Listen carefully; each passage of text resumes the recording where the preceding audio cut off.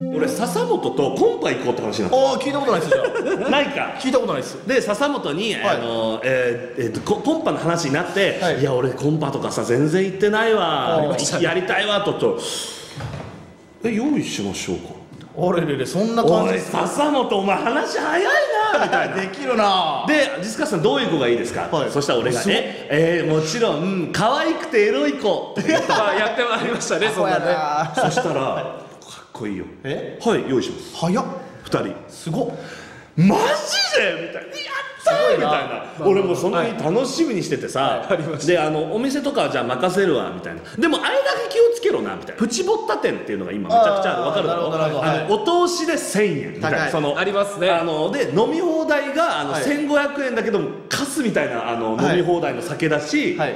そういうのがあ今はびこってるから気をつけろ。い。や 実家さんごめんなさい。あの僕キャッチのバイトしてたことあるんで。ああそっかすまんと。あプロやな。それは失礼しましたと。すごっ。でそれで統一になってさ俺も楽しみにしてたの、はい。であのちょっと早めに集まって作戦会議でもしようぜ。みたいな話して、楽しいじゃん男子で、はい。で笹本さん集まって「どこ?」みたいな言ったら「えっ、と,、えー、とあここだと思うんだけどな」みたいな「あれお前行ったことない店なの?」みたいな。うん「はい大丈夫?」みたいな「不安なんだけど」みたいな、はいはいはい。入ってったら「はいここっすね」みたいな。本当地下のえ？地下2階のもうまさにプチボッタ店っぽい店だった。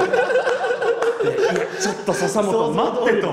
もう俺もろなんだけどみたいな。そして笹本が「大丈夫です」みたいな。はい。あのいろいろ裏取りしてますみたいな。わけわけわかんないこと言ってんだよ。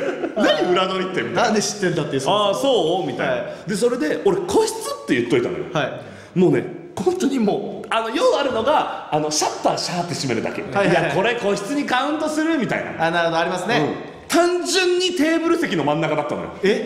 店の。怖っ。みたいな。お前個室ってなお前個室って言う。だってそれ先輩がいる時は個室みたいな時あるでしょ。であので「はいこちらになります」じゃあ飲み放題でって俺言ったの。よ、はい。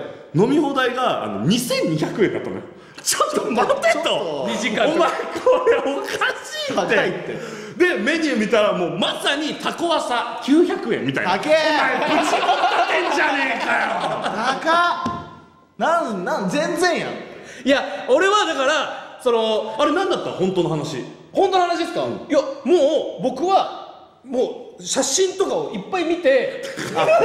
裏取りじゃないよ全然裏取りじゃないじゃん。えそれはだってお会計はまあね先輩がしてくださるやん、そうそう。だから別にそのなんかそのなんか平均何円とか書いてあるじゃん、うん。それ信用してそれをあれ信じんなよな。信じる。お前あれを信じんなってあれは話してるやばい。こっちは全然そういうの言ってないやんじゃあ